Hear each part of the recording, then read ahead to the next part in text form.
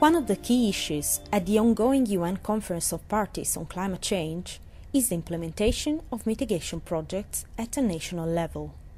From 2011, among various actions, countries have made voluntary pledges to reduce emissions for 2020. According to the UN Environment Programme, these pledges cover the 80% of global emissions, but they are not ambitious enough to keep global warming below 2 degrees Celsius. In fact, we are on track for warming of almost 4 degrees. So we have seen that uh, countries have put forward proposals to reduce greenhouse gas emissions.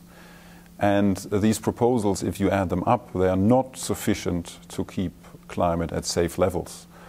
Um, and uh, because of that, well, definitely uh, governments have to propose more, but we would also need something in addition. And this in addition could be, uh, which, some people call international cooperative initiatives.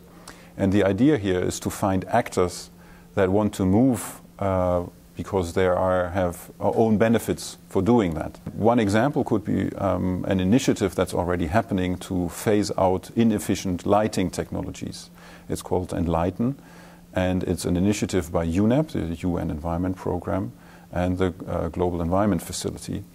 And uh, countries and also businesses can sign up to this uh, initiative and if they do so, they have to commit to phase out inefficient lighting, but they will also get support in implementing this. Energy efficiency, uh, that was an example of lighting, is very interesting for developing countries. Uh, you can apply the same model for energy efficient appliances or for energy efficient buildings. Always uh, these activities, they pay off in the long term, but they have a barrier of upfront investments. And there, if you find the right coalitions of the right uh, uh, actors, then one can, can help here.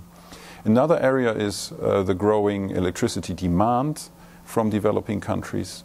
And here, a cooperation on, for example, renewable energy uh, could also help significantly to uh, uh, satisfy this demand, especially for rural areas where the electrification is, is, is not there their uh, systems with renewable energy can definitely help. The last report from the World Energy Council on energy sustainability, presented last week in Warsaw, says that a total of 19.3 trillion to 26.7 trillion US dollars must be invested globally in electricity infrastructure up to 2050 to support growing global energy needs. Analysts agree it might be hard to get governments and industries to cooperate, but it is crucial for the implementation of clean technologies in developing countries.